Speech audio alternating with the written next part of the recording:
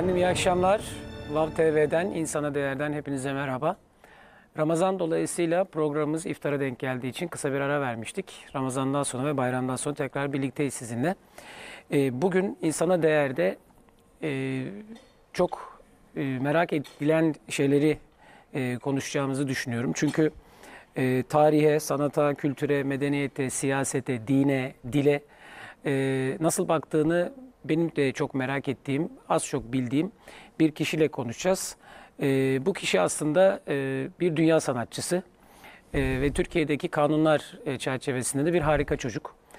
E, küçük yaşta harika çocuk kanunuyla e, yetenekleri keşfediliyor ve yurt dışında e, eğitim almak için Fransa'ya gidiyor.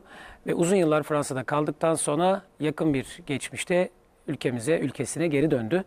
Kendisi Hüseyin Sermet. Hüseyin Hocam hoş geldiniz. Hoş bulduk.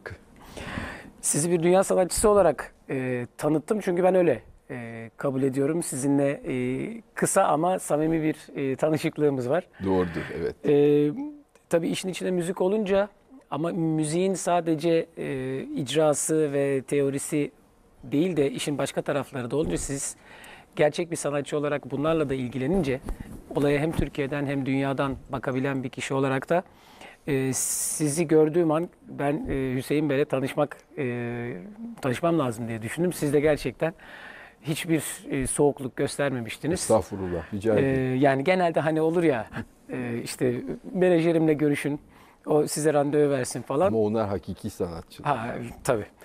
Tırnak içinde. Hakiki hani şeyler vardır ya hakiki restoran, et restoranları falan filan. Onları öyle diyelim. Şimdi hocam siz e, birilerinin tabiriyle aslında biz aslında bir beyaz Türksünüz. E, bu Bunu doğru. e, saçınızın rengi, e, teninizin o e, sebebiyle söylemiyorum ama kafa olarak e, kendi ülkesine biraz farklı bakan insanların tercih ettiği bir tabir bu. Doğru mu yanlış bilmiyorum ama dilimize yerleşti. E, ve siz uzun yıllar, neredeyse hayatınızın şimdiye kadar, Allah uzun ömür versin bu arada, Amin. üçte ikinizi, üçte ikisini e, belki daha fazlasını yurt dışına geçirdiniz. 50 yıl. E, Fransa merkezli ama bütün dünyada e, bulundunuz. Fransa'da nasıl bir hayatınız vardı da onu bıraktınız ve Türkiye'ye geldiniz. Birilerinin e, küçük bir azınlık ama çok sesleri çıktığı için hani bu ülkede yaşanmaz gidiyorum Türkiye bir mühendis kaybetti, Türkiye bir sanatçı kaybetti deyip e, gitmek için heveslendiği ama gittikten sonra da o hevesinin ne anlama geldiğini gördüğü bir ülkeye, öz vatanınıza, vatanımıza, e, kendi bayrağımızın dalgalandığı al sancağın gölgesine geldiniz. Doğru. Fransa'da ne yaşıyordunuz, ne yaşadınız da böyle bir karar alıp birçok kişinin yaptığının tam tersine bir kararla Türkiye'ye geri döndünüz. Şimdi her şeyden evvel burası elbette benim vatanım. Ben burada doğdum, İstanbulluyum ve oturup da hiçbir zaman hayatımın hiçbir zamanında kimliğimi, tabiyetimi e, reddetmek veyahut da inkar etmek bir nevi aklımın en uç köşesinden geçmedi. E, biraz milliyetçi bir e, kişiliğim mi var? Yok ona milliyetçi mi demek lazım? Çünkü başka şeyler çağrıştırıyor milliyetçi kelimesi biliyorsunuz. Evet. Yoksa vatanperver mi diyelim? E, isterseniz vatanperver diye Evet. tarif edelim. Ben Türkiye'ye bu açılardan son derece bağlı bir insanım.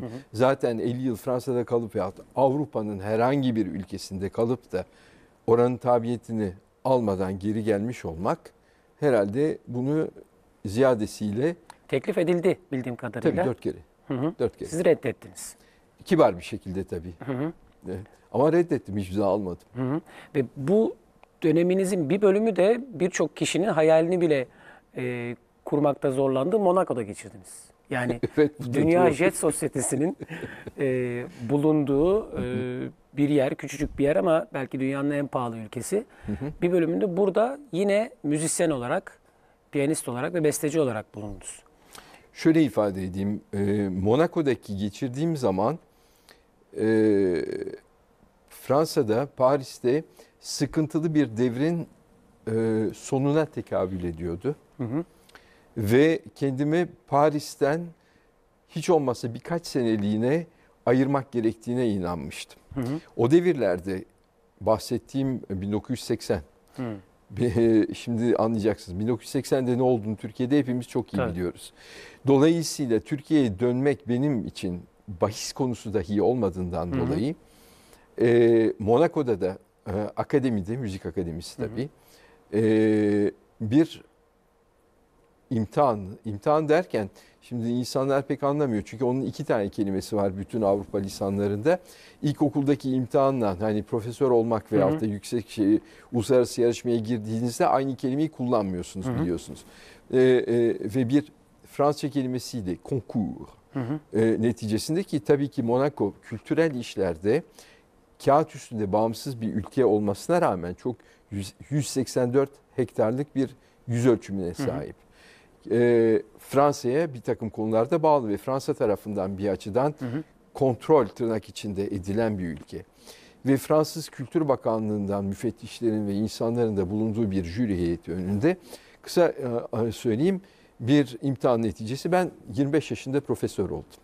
Hani e, şimdi bunu şaka diye söylüyorum bu kısmını herkes en genç profesör olan Türkiye'de. Oktay Sidanoğlu Evet. 26 yaşında oldu Rahmetli. Evet. rahmetli.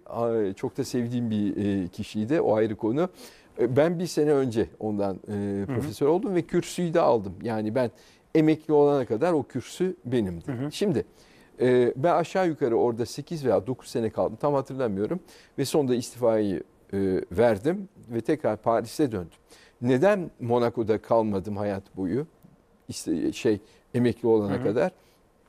Çünkü sanatçı olarak orada kaldığınız sürece çok küçük bir ülkenin çok küçük kültürel şartlarında yaşamaya kendinizi mahkum ediyorsunuz. Sizi beslemedi yani. E, besleyemezdi zaten. Ancak orası bir teneffüs gibiydi. Hı hı. E, e, eğer Fransa'da oturacaksanız sanatçı olarak son derece hala merkeziyetçi bir zihinle yönetilen bir ülke olduğundan dolayı Paris'te bulunmakla mükellefsiniz. Hı hı. Ben de zaten Paris'e döndüm. Paris'e döndünüz ve Monaco'daki kendinize tahsis edilmiş profesörlük kürsüsünde bıraktınız. E, istifa ettim tabii ki. Ee, Fransa'ya döndükten sonra bir de tabii o e, profesörlüğünüz de aslında çok enteresan. 25 yaşında şimdi Türkiye'de lisans, yüksek lisans, doktora, e, eski Tabii, şeyde tabii. yardım doçent, doçentlik ve profesörlük. Evet. Belirli bir bekleme sırası da var. Muhakkak tabii ki. Oradaki profesörlük e, sistemi müziğe has, sanatçılara has bir şey miydi Sanata yoksa? has. Çünkü eğer lafın gelişi e, fizikçi olarak profesör olmak istiyorsanız sizin saydığınız bütün o evrelerden gelip geçmeniz lazım. Hı. Ama bunun amiyane deyimiyle lamı cimi yok. Hı. Ama sanat öyle bir konu ki karşınıza e, 13 yaşında 14 yaşında bir çocuk çıkıyor. Mesela belli bir seviyeleri ve şeyleri tamamen zaten kendisinden Geçmiş. kendiliğinden diyeyim geçmiş durumda. E, e, 25 yaşında ben profesörlük imtihanına girdiğim zaman Monaco'da akademide e, zaten 2-3 tane veyahut da şimdi oturup düşünmem lazım. Belki de 3-4 tane uluslararası yarışmalarda birincilik vardı. 1976 yılında Santander'de aldığım ödül dahil buna. e, Yani adaylar yoktu. Siz size özel vardı bir ama yani e, e, biraz e, yani ayıp oluyor bu şekilde ifade etme ama ezici bir üstünlükle geçtim. Yani o sizin Türk olmanız e, veya daha önceki e, yani Türkiye'den gelmiş olmanız bir olumsuz etki yapmadı mı? Yoksa sanatınız hepsini susturmaya e, ve diğer adayların önüne geçmeye yetti mi? Şimdi bakın eğer eşit şartlarda eşit netice veriliyorsa Hı hı. o zaman kendi vatandaşlarına tercih hakkı tanırlar. Hı. Ama siz onların vatandaşlarını eziyorsanız o zaman ya çok yukarılardan resmen hani torpilli veyahut da e, talimat almış olarak birini size rağmen oraya koyacaklar. Ki bu uluslararası yarışmalarda mesela çok sık olan bir hikayedir. Yani uluslararası yarışmalarda siz çok sağlam değilseniz sizi finale gelmeden elerler. hı. Tehlike teşkil etmeyesiniz diye. Neyse. e, Bu sağlamlıktan kastınız arkası olması. Siyasi olarak Hayır, sağlamlık şey, mı? sizin Sanat olarak. icranızın, sanatınızın hakikaten tartışılmaz derecede iyi olması lazım. Mümkünse. Ee, mesela ben Ren Elizabeth e, bu Brüksel'de Belçika'daki dünyadaki işte dört büyük yarışmadan biri kabul ediliyor. Oraya girdiğim zaman 1900 kaç 83'tü galiba. Neyse geçmiş gün. Hala o devirlerde malum dünya iki blok olarak yani bizim içinde yaşadığımız Evet. dünya diyeyim. Doğu ve Batı bloku. Şimdi Doğu Batı e, blok, blo- bloğunun başında Sovyetler. Sovyetler var. Batı'da Amerika, Amerika. ve onun çömezi Avrupa diyelim. Hı hı. E, jüri üyeleri aşağı yukarı eşit sayıda her iki blokta. Hı. E şimdi siz Türk olarak oraya geldiğiniz zaman kağıt üstünde Batı blok üyesi bir ülkenin vatandaşı olarak geliyorsunuz ama tek başına e, geliyorsunuz. Hı hı. Sizi tutacak orada hiçbir jüri üyesi yok. Hı hı. Bu bir, Müslümansınız. Bu iki ama bu e, herkesin kafasında bilinçaltı. Ya adam size oturup baktığı zaman siz çalarken ha bu Müslüman diye dinlemiyor tabii. Hı hı. Ama Türk deyince Müslüman otomatik nasıl bu işlerin hani bilinçaltında devreye girdiğini hepimiz biliyoruz. Evet. Zaten Avrupa'da nasıl ırkçılığın hortladığını da bugünlerde Tabii. hepimiz görüyoruz. Şimdi e, dolayısıyla o yarışmada elemelerde işine gelmedikleri zaman çıkarırlar aradan adamları. Çünkü finale her iki bloktan da en iyiler mümkünse gelecektir ve onlar arasında ezen biri çıkarsa mesela Tchaikovsky yarışmasında vakti zamanında Amerikalı piyanist Van Cliburn e, birinci olmuştu. Çünkü Rus piyanistler dahil herkese ezdiği için ve hatırladığım jüri başkanından Brejnev'e telefon gidiyor. Diyor ki böyle böyle diyor. Yani bu adam hep yıktı geçti diyor. Birincilik kesinlikle onun hakkı. Hı hı. Ama diyor yani sizin bu konuda söyleyeceğiniz bir şey var mı? Brejnev de hakikaten bu adam yıkıp ezdi geçti mi herkes diyor. Kesinlikle öyle efendim. Hı. O zaman verin gitsin birinciliği diyor. Hı. Şimdi yani bu bunlar hepsi tarihte e, geçerliliği olan e, hikayeler. Dolayısıyla öyle bir devirde sizin biraz e, hava, hava gazı gibi laletten bir Hüseyin Sermet olarak ortalıkta dolaşmanız pek kolay değildi. Ama ben aslında bunun farkında bile o zamanlar pek değildim. Neden biliyor musunuz? Çünkü ben tamamen çalışmama, icraya, şuna buna odaklanıyordum. Hı hı. Ondan sonra e, e, gençlik var serde. Başka şeylere odaklanıyordum. Hı hı. Herkes ne demek istediğimi anladı. Evet. Dö- e, şimdi eğri oturup doğru konuşalım. Benim yalan, yalan söyleyecek Tabii. bir halim yok kimseye.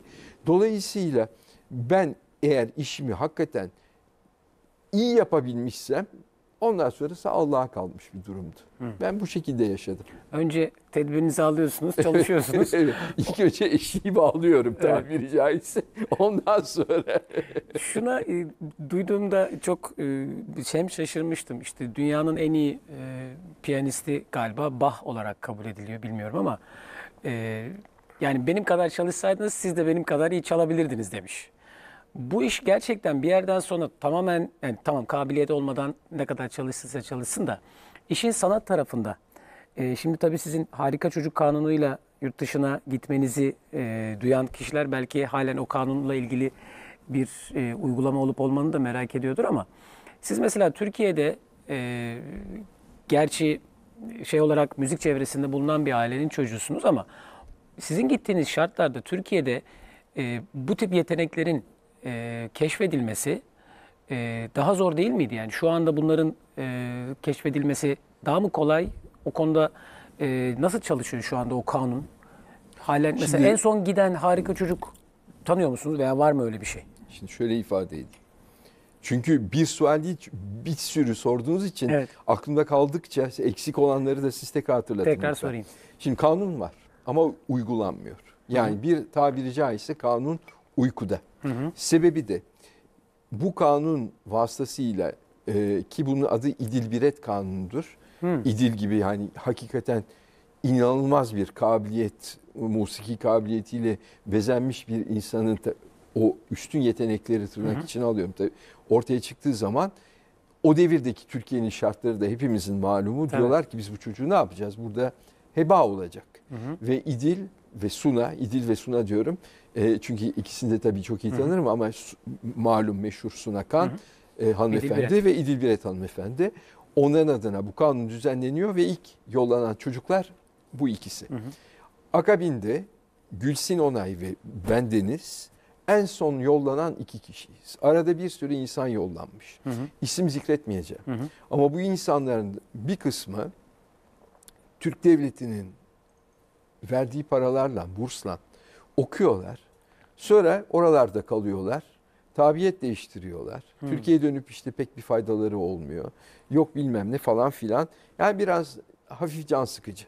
Diğer taraftan e, bugün dediniz hani bu çocuk e, yani harika diyebileceğimiz çocuklar yok mu? Şimdi harika kelimesi aslında biraz abes bana sorarsanız. Çünkü kimse çocuk kalmıyor. Dolayısıyla Doğru, harikalık evet. bir müddet sonra izafi bir kavram haline Harika dönüşüyor. gence dönüşüyorsunuz. ve harika ihtiyarlara Evet. dönüşüyoruz. şey ama e, çok kabiliyetli gençlerimiz yok mu? Olmaz olur mu? Hem Evet. de ne, ne kadar istese, isterseniz neredeyse o kadar var. Mühim mesele bizim asıl tartışmamız gereken konu ki benim Türkiye'de bu e, yani bazen kafayı affedersiniz amiyane deyimiyle yiyecek gibi oluyorum. Çünkü insanlara laf anlatamıyorum. Nedir o diyeceksiniz. Biz kabiliyetli çocuklarımız var mı? Var. Allah'tan şükür.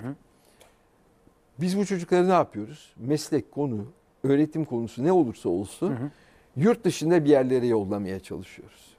Bu gerekliyse muhakkak yapılmalı.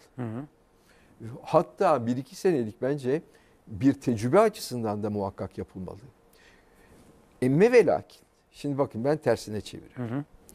Anglo-Sakson ülkeler biliyorsunuz kültür ve eğitim konusunu bir endüstri haline getirmişlerdir. İngilizler ve Amerikalılar başta olmak üzere siz Harvard'mış ne bileyim Oxford, ee, Cambridge. Oxford, Cambridge işte hangisi olursa olsun e, o ülkelerin okullarına Fransa hariç oğlunuzu kızınızı yollamak isterseniz e, çok ağır para babası olmanız lazım. Evet. Bunu yapabilenler de bugünün aristokrasini teşkil eden zaten zengin insanlar. Onlar zaten zengin ve kendilerine elit denmeye başladı dikkat ederseniz. Niye elit oldular durup dururken? Ceplerindeki, banka hesaplarındaki para miktarından dolayı. Eskiden asilzade sınıfı vardı, şimdi zengin sınıfı. Evet.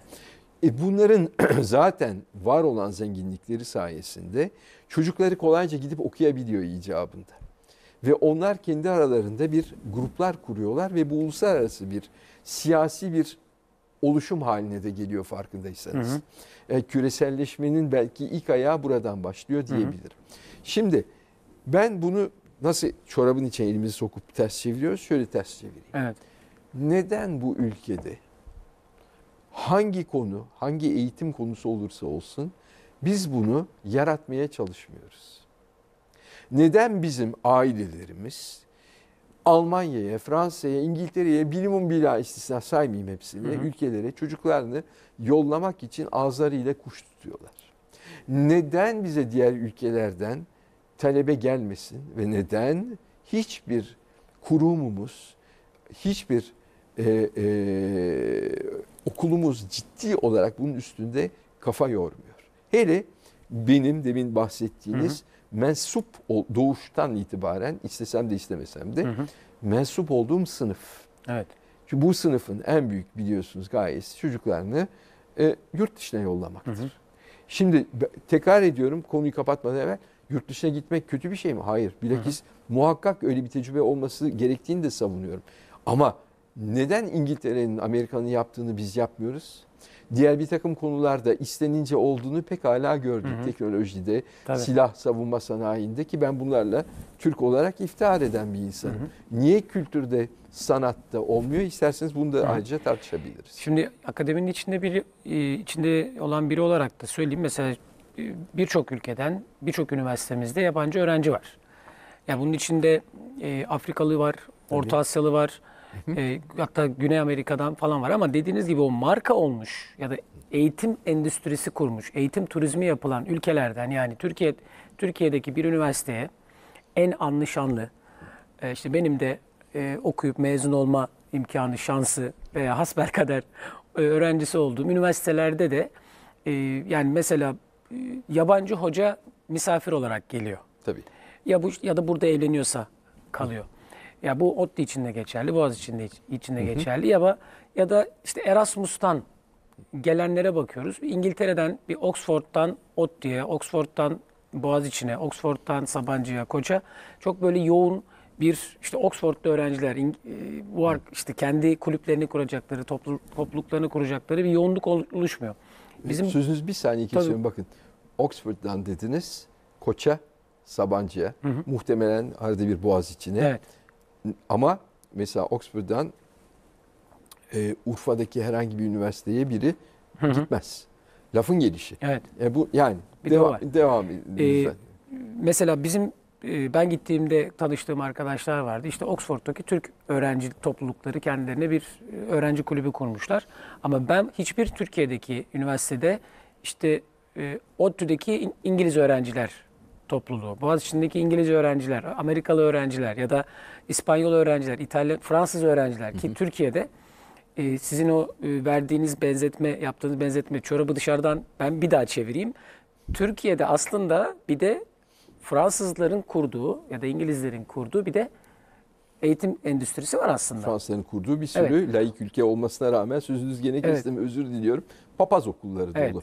Ha ben bunu bakın kusur olarak söylemedim. Yani sadece tamamlayıcı bir ek bilgi olarak Evet. söylüyorum. Yani iş ilginç. İşte Aziz Joseph, Aziz e, e, Benuaf gibi şeyleri Evet. var.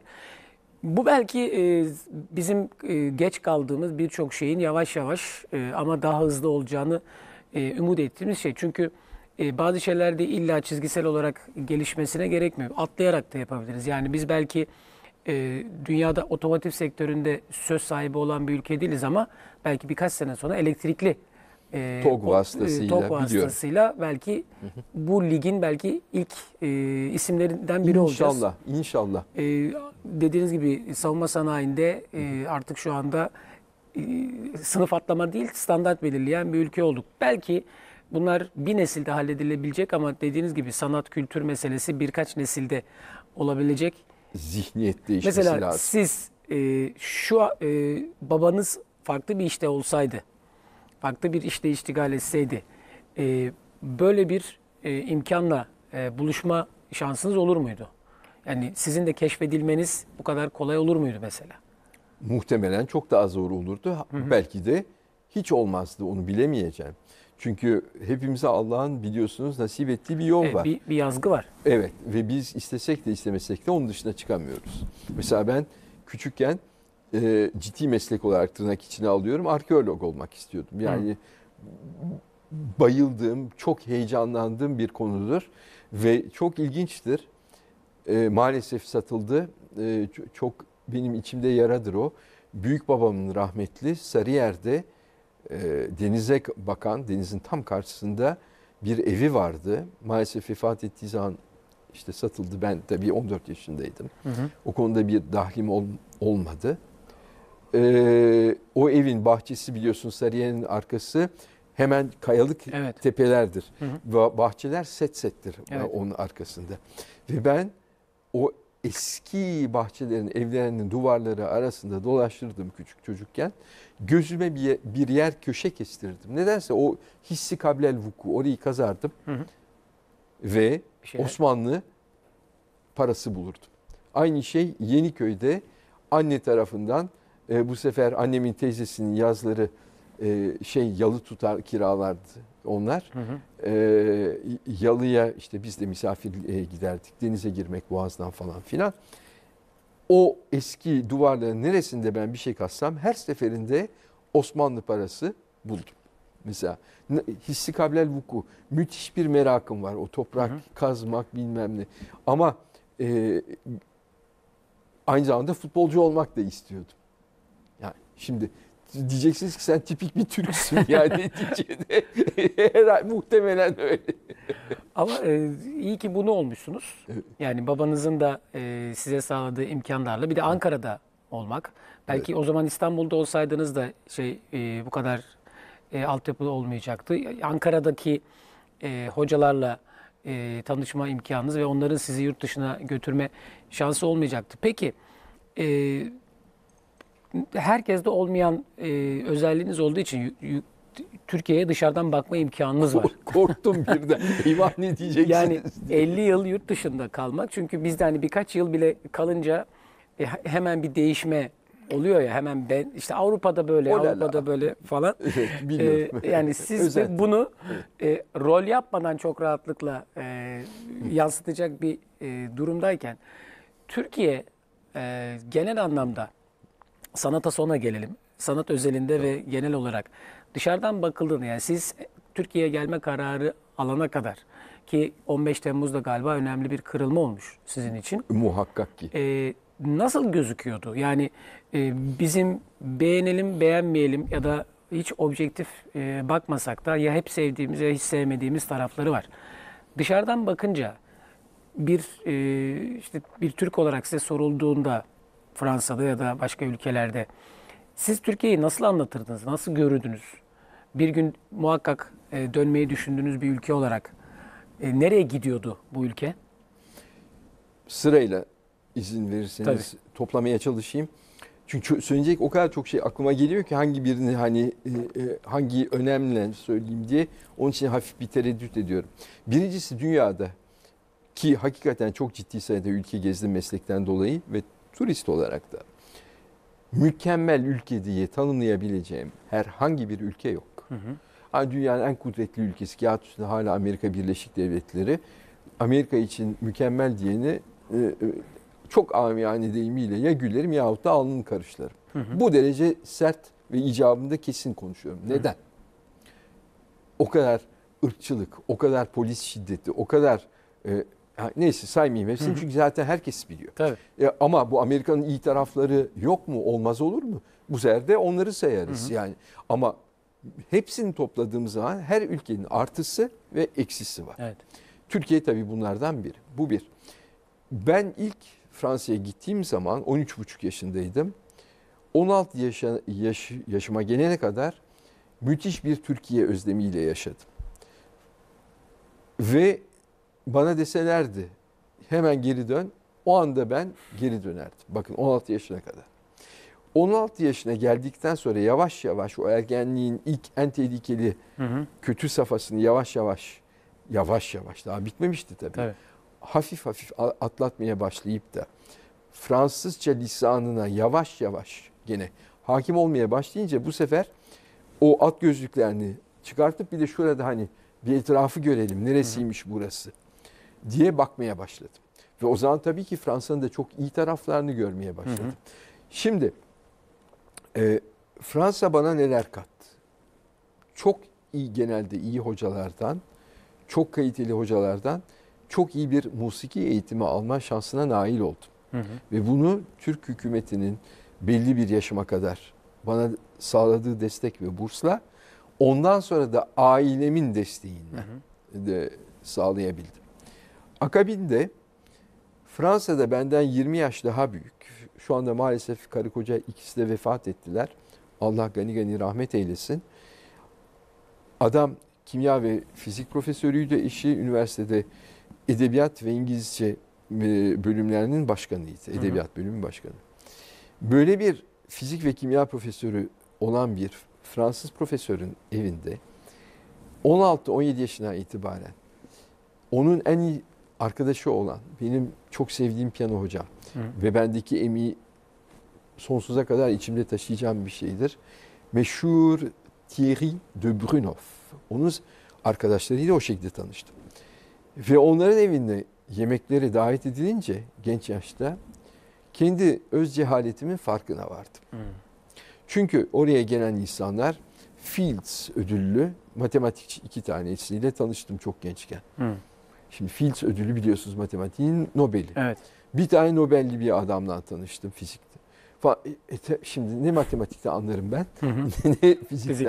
Ama e, oradaki konuşmalar, konuşmaların tonu seviyesi falan filan benim konservatuvardaki dünyamın bana ne kadar küçük olduğunu genç yaşta göstermeye başlamıştı. Hı hı. Belki de beni diğer sanatçı arkadaşlardan temelde birazcık ayıran husus bu olmuştur diyebilirim. Hı hı. Çünkü ben sadece ne at gözlüğü takmış gibi meslek ne olursa olsun bu sanat olabilir. Tabii. Matematik olabilir, şu olur bu olur hiç benim için fark etmiyor. Spor da olabilir yani. Ama sadece kendi mesleğini belki mükemmel şekilde iyi yapan ama onun dışında tın tın olan insanların e, belli bir seviyenin ötesine hele sanatta geçemediklerini görüyorum. Kabiliyet bakın tek başına yeterli bir şey değil. Hı hı. Kabiliyet nedir? Bina yapacaksanız temel kazmakla mükellefsiniz. Temelsiz bina olmaz çünkü anında yıkılacağı Hı hı. ortada. Demek ki kabiliyet sadece bir temel. Siz onun üstüne nasıl bir şey inşa ediyorsunuz? O inşaat e, e, çok önem arz ediyor. Dolayısıyla benim o Fransa'daki arkadaşların bana getirdiği, verdiği katkılar ve onlara müteşekkirim. Ne- Yani demokrasi mesela nedir? İnsan karşısındakinin fikrini nasıl dinle, dinler? Hem fikir olmasa bile hiçbir önemi yok. E, e, bu, e, çok kısa bile saygılı bir şekilde tırnak içinde nasıl tartışmaya gidebilir? E, bunları mesela Türkiye'de olmadı. Ortada ama bunların sebebini de istiyorsanız ayrıca konuşuruz. O ayrı bir konu tabii. Yani bu Fransızlara has bir özellik değil herhalde. Yani Hayır, benim o kaliteli arkadaşlarım bana getirdiği şey. Çünkü onlar hakikaten entelektüel kelimesi ki biliyorsunuz Fransızca entelektüel e, şey e, o sıfatın manasını kültür denilen şeyin manasını hakikaten hatmetmiş ve hakkıyla yaşayan ve veren insanlardı. yani Frans bütün Fransızlar entelektüel olmadığı için onlar da bağıra çağıra kav e, bir şey herhalde. kesinlikle. Bu- Fransa'nın bana olan yani benim Anladım. şansımdan Yok, sizin- talihliyim diyorum ben yani. E, Fransa'da ve Paris'te aslında yine çok e, şanslı bir gruba denk gelmişsiniz. Evet. Yani Çok yüksek herhalde sınıf bir grubun içinde e, ol- olabildim. bi- bi- biz Paris'e gidenler de görüyorlardır. Onlar da herhalde aralarında kavga ediyorlardır, tartışıyorlardır. Hem de Dolayısıyla bütün e, Fransızlar nasıl? birbirlerine Öyle bir şey kesinlikle e, demedim. evet yani çünkü hep şey vardır ya yani Evet. Avrupa'da bunlar yok şekerim. Aa, e, işte, gibisinde. Ağzımı açmamayı tercih ediyorum. Evet. Ki o siz e, onun e, Türkiye açısından da iyisini tar- kötüsünü gördünüz. E, Avrupa açısından da iyisini gördünüz. Muhakkak. Kötüsünü gördünüz. Peki e, siz aslında e, biraz da e, hani e, tırnak içinde ağzına e, biber sürülecek e, şeyler de söylüyorsunuz Türkiye'ye. Geldiniz. E, tabii çok güçlü sanat açısından da altyapı açısından da çok güçlü olduğunuz için en fazla Teveccühünüz. sizin adınızı duymamayı tercih edecek. Yani onu e, hiç konuşmayalım e, O- deyip ama onların sorunu Evet. benim değil. birilerini rahatsız ediyorsunuz. Hem, hem de nasıl? E, ve o birileri e, kötü reklamınızı bile yapmamak için sizi yok farz ediyorlar. Doğrudur. Bu aslında sizin şahsınızda bazı gerçeklerin yok farz edilmesi, üstünün örtülmesi, dillendirilmemesinin de bir göstergesi değil mi? Sadece sanat açısından değil. Siz bu, bu ülke adına bir şey söylüyorsunuz. Bu müzik olabilir, mimari olabilir, e, ne bileyim teknoloji olabilir, edebiyat olabilir, e, bambaşka şeyler olabilir. Yani siz bir müzisyen değil de bir e, Fransa'da yaşamış, ee, bir sinema yönetmeni de olabilirdiniz, bir mimar da olabilirdiniz ve Türkiye'ye geri dönüp bunları söyleyebilirdiniz. Neticede siz sanatla ilgili, yaratıcılıkla ilgili düşüncelerinizi müzikle gösteriyorsunuz. Ve Evet. e, orada bırakmayı e, göze aldığınız altyapınız da burada e, size pek aslında e, söz söylem, söylenemiyor. Yani ha Hüseyin Sermet mi tamam tamam o zaman onu kapatalım denecek bir ağırlığınız var. Bu ağırlığınız e, bankadaki hesaplarınızdan gelmiyor, malınızdan mülkünüzden gelmiyor. E, parmaklarınızın ucundaki marifetle ve sanatınıza verdiğiniz e, şeyle veriyor. Siz e, bir konuşmanızda e, Türkiye'nin şizofren bir ülke olmasından bahsediyorsunuz. Bu Doğrudur. Kesinlikle o. bu şizofrenlik nasıl bir e, böyle bir tabir tanım yapmanıza sebep olan Türkiye nasıl bir şizofren ülke? Bir ülke nasıl şizofren olabilir? Çok basit. Kültürel dengeleyemiyoruz? karışımı. Yani şu anda maalesef içinde yaşadığımız bu hayhuy, debelenme e, meseleleri kim olduğumuza bir türlü karar veremememiz ve bunun bir şekilde çözüme ka- kavuşturmak için de sağlıklı, sağlam bir zeminde ve saygılı bir şekilde tartışamamamızdan kaynaklanıyor. Yani bu bir geçiş dönemi, bir ergenlik krizi değil. Bu çok uzun zamandır sürüyor. Bakın e, eğer bu konuya giriyorsak kısaca bir iki şey Tabii, açıklamakla buyurun. mükellefim. Öbür türlü çünkü sanatta bugün niye işte e, işte Ahmet Mehmet'e dedik ya Ayşe Fatma'ya şu cevabı verdi. Bunların hiçbir kıymeti harbiyesi yok. Bu ancak sosyal medya denilen as asosyal medyada bir takım ezik ve kompleksli insanların kendi kendilerine halvet olup kendilerini tatmin etmeye çalışmalarından başka hiçbir şey değil. Ve dolayısıyla üstte konuşulacak bir konu bile değil. Evet. Burada sorunumuz ne? Şimdi bakın Osmanlı, ona El Selçuklu, Selçuklu ile Osmanlı arasında işte kısa bir beylik devri falan filan. Ama Türklerin tarihi Selçuklu'yla da başlamıyor. Tabii. Oturup şimdi en eskisine kadar gitmeyelim zaten. O kadarını hepimiz artık üç aşağı beş yukarı biliyoruz diye ümit ediyorum. Bizim sorunumuz ne? Şimdi Türk nedir? Türklük nedir? Bunu tarif etmekle mükellefiz. Şimdi bir takım çevreler e, Atatürkçüyüm ben. Şimdi Atatürk kelimesi kullanıldığı zaman onların nazarında akan suların durması lazım. Of Atatürk.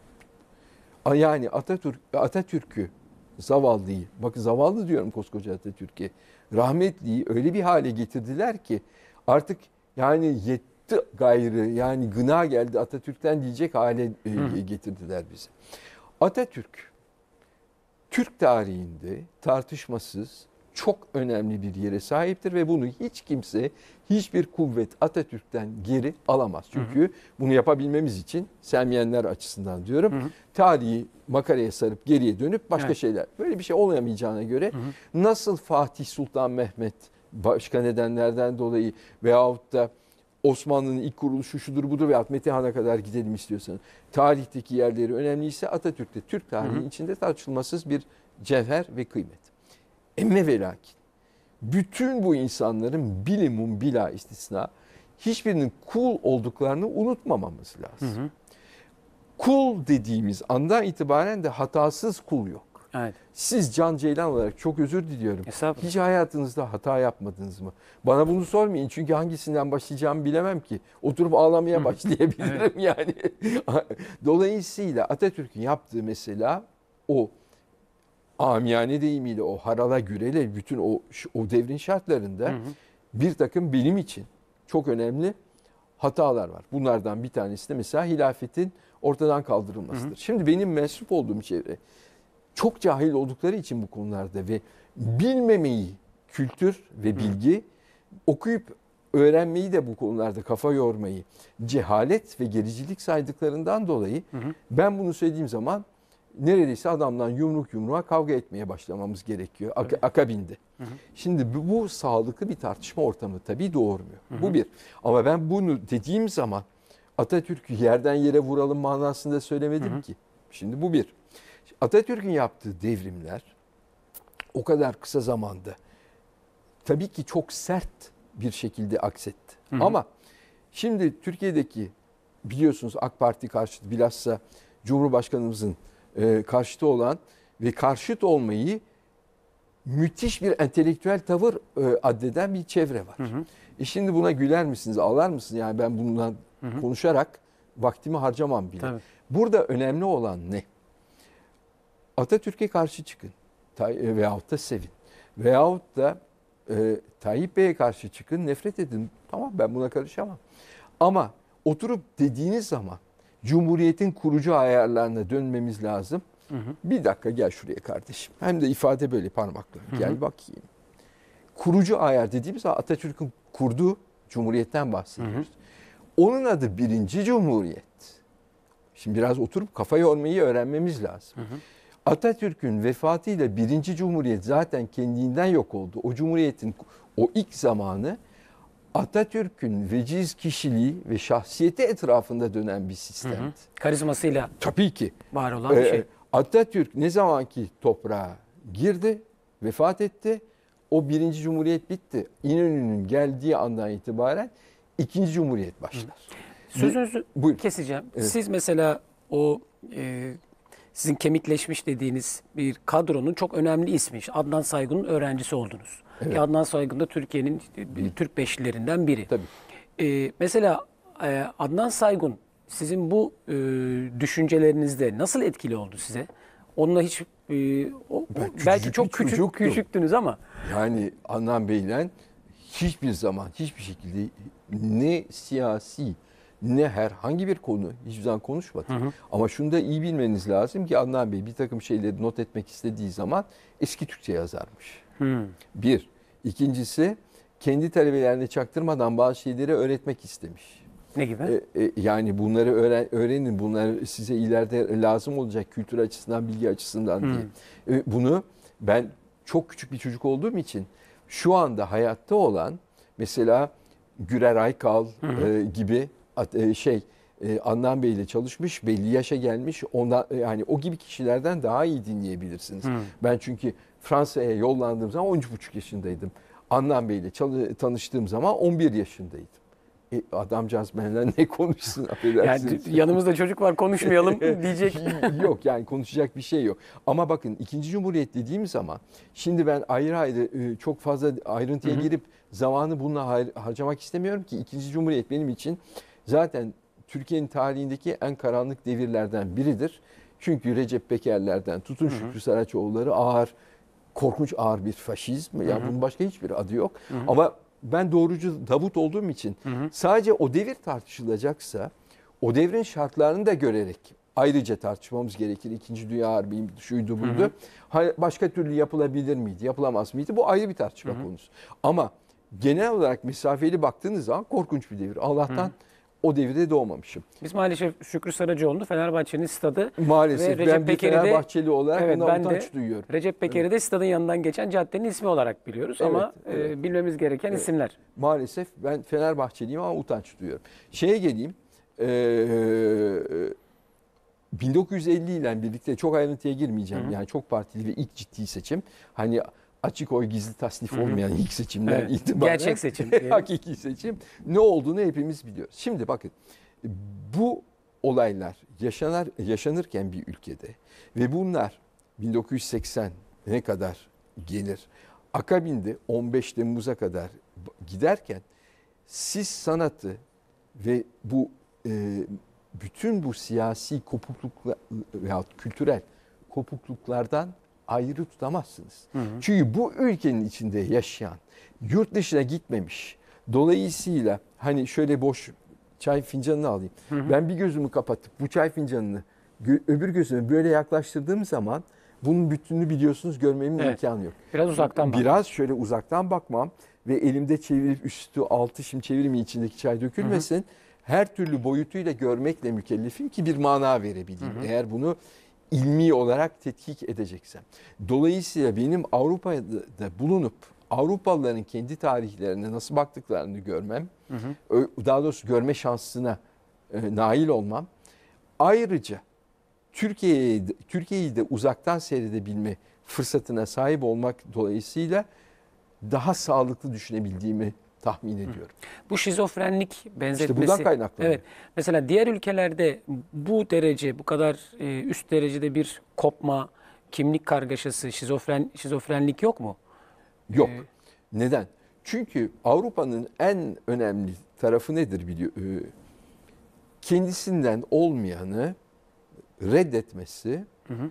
icabında soykırıma uğratarak temizlemesi.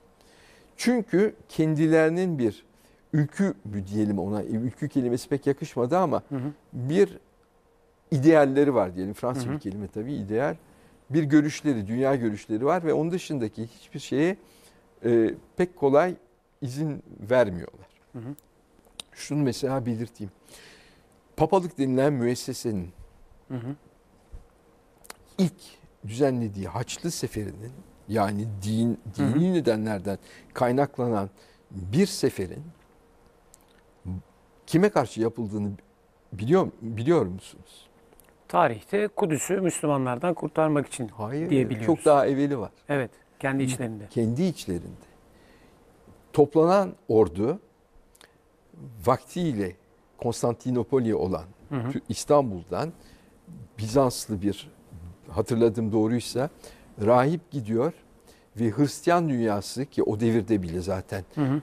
herkes aç bir ilaç yani biraz öyle bir e, ifade edeyim genel olarak fakir yani. Ama kilise çoktan şaşa içinde yaşıyor. Diyor ki bunun diyor Hazreti İsa'nın bize öğretileriyle şundan bundan hiçbir alakası yok. Hı hı. O bize bütün başka şeyler e, öğretti falan filan. Ve Katar kelimesi e, e, Katar diye bir e, anlayış Hı hı. doğuyor. Ve bunlar Fransa'nın güneybatısıyla İspanya'nın Katalan bölgesinin dağlık kısımlarında daha ziyade Hı e, e, yeşeriyorlar ve çok ciddi bir şey buluyorlar. E, kendilerine bir Taraf. alan, yaşam alanı. Ve güçlendikçe bu sefer kilise yani papalık Hı. biraz tedirgin olmaya başlıyor. Kısa kesiyorum. Ne, ne oluyor biliyor musun neticede? Çok büyük bir ordu topluyorlar. Çok uzun seneler süren bir savaşların neticesinde Katarları bütün erkeklerini kesiyorlar, resmen kesiyorlar. Hı hı. Sağ kalan kadınlar ve çocukları on e, e, şey odun ateşinde yakıyorlar. Ve o yak şey kümelenmiş odunların, istiflenmiş odunların üstüne o kadınlar ve çocuklar ilahiler okuyarak yürüyorlar. Çok etkileyici Hı. bir şey. Hristiyan Avrupa bunu bakın Müslümana Yahudiye değil bu aşamada. Direkt kendine. Budiste falan değil. Direkt kendisine yapıyor. Zaten Ortodoks'tan biliyorsunuz kilisesiyle Tabii. Katolik Katolik, Kilisesi arasındaki şeyleri İznik'teki burada olan Hı hı. hikayeleri hepimiz biliyoruz. Onun için onlara girmiyorum. Dolayısıyla e, bu derece sert olabilen bir anlayış kendi içinde yabancı olan unsura pek kolay izin vermiyor. Hı hı. Ve nasıl 2. Dünya Harbi'nde Yahudilere karşı çok ciddi bir sıkıntı oldu ama Yahudilerin ötesinde Çingeneler, Hı hı. eşcinseller, sakat olanlar Hı hı. e, falan soykırıma uğratıl, uğratıldılar. 1500 kadar da Osmanlı vatandaşı hatta Polonya'da Türk asıllı olanlar da olduğu söyleniyor o. Evet Kamplar. söyleniyor. Ben yani şahsen tetkik etmedim. Ama şu, e, yarın öbür gün Avrupa'nın şu andaki siyasi nedenlerle birilerinin sırf kendilerinin seçilmesi açısından siyasi oyunlar oynuyorlar Müslümanlar üstünden biliyorsunuz.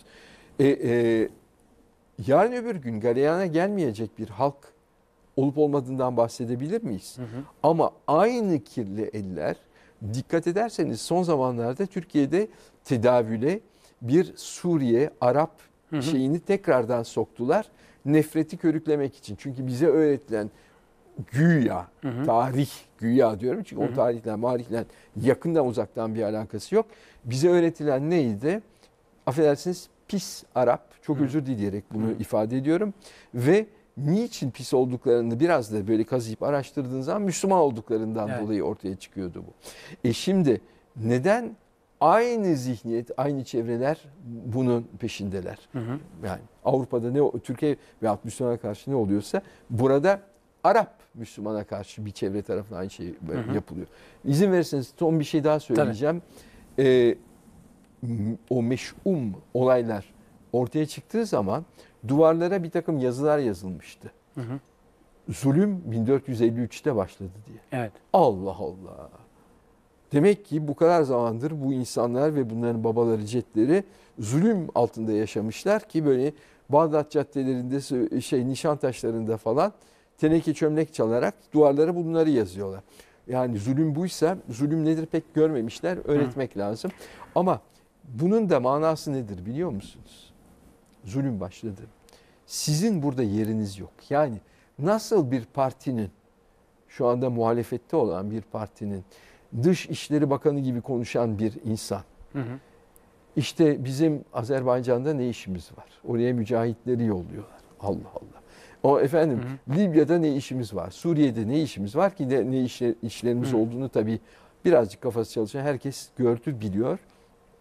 Bunun ama satır arasını okuduğunuz zaman ortaya ne çıkar?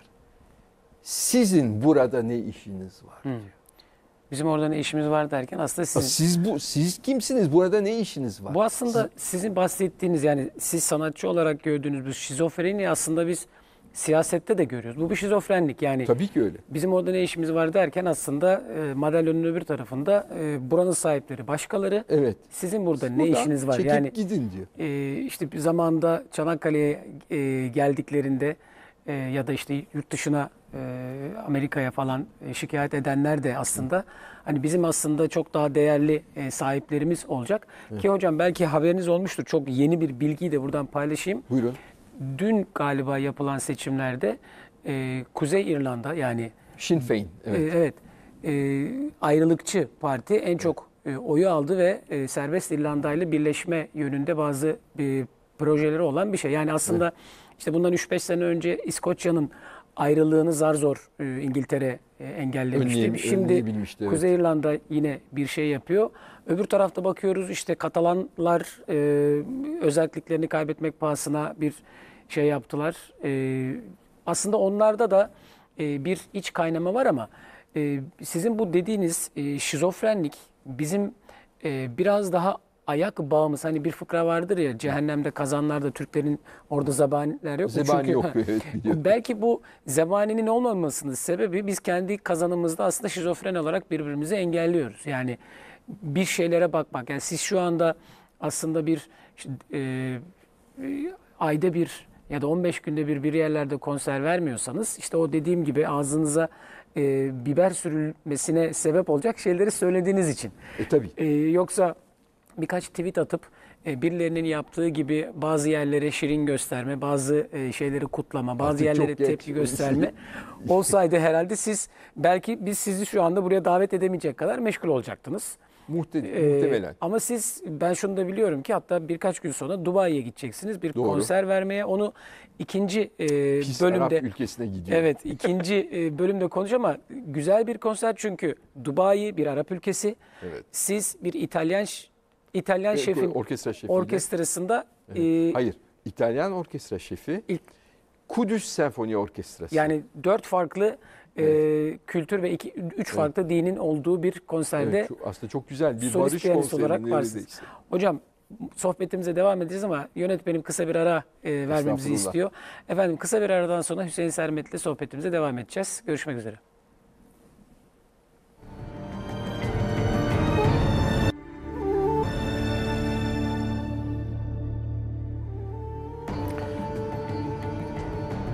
Efendim tekrardan iyi akşamlar.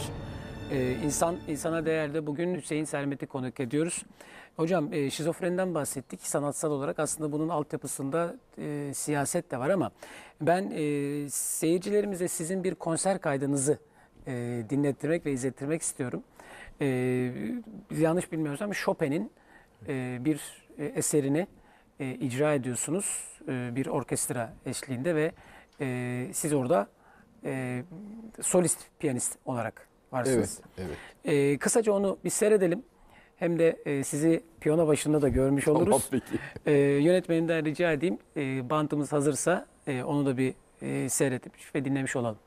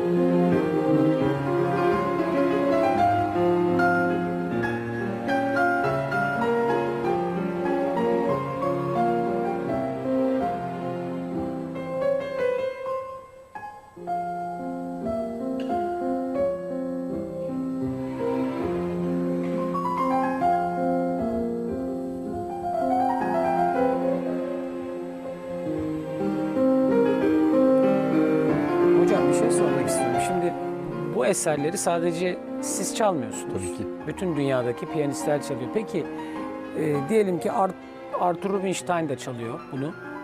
Sizinle onun arasındaki fark ne kadar olabiliyor? Yani bir Chopin'in bir klasik eserine siz ne kadar kendinizi yansıtabiliyorsunuz veya başka piyanist ne kadar yansıtabiliyor? Bu e, şimdi biz biliyoruz ki veya zannediyoruz ki öyle çok şeydir bunlar.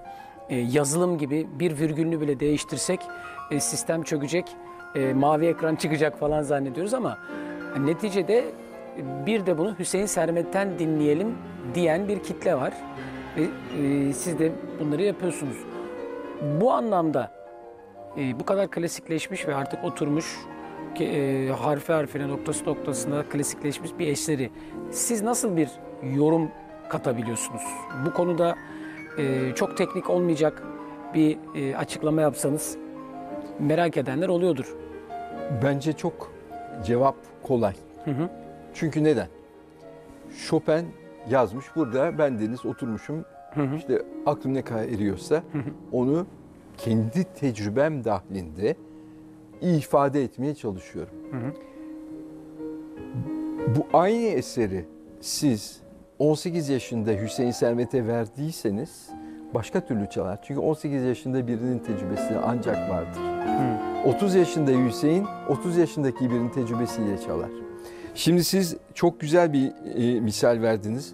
Arthur Rubinstein dediniz ki dünyada yani şimdiye kadar yaşamış en büyük Chopin'cilerden biri olarak Chopin üstadlarından biri kabul edilir. Şimdi eğer beni zaten ondan mukayese ediyorsanız ben çoktan e, muhteşem bir seviyedeyim. Yani edelim E, e, lütfen. e, e, yani onu onu söylemek bana düşmez. Şimdi nasıl bir fark olduğunu görmek için aslında çok kısa bölümler alarak Hı.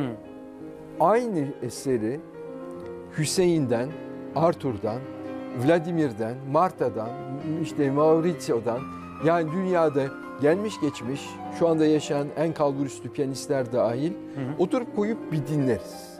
Hı. Ve aradaki farkları siz de duyacaksınız. Ha sizin tercihiniz mesela e, e, X her kimse o X tercih edebilirsiniz. Sizin daha hoşunuza gidebilir bir takım sebeplerden dolayı. Veyahut da benimki daha çok hoşunuza gider.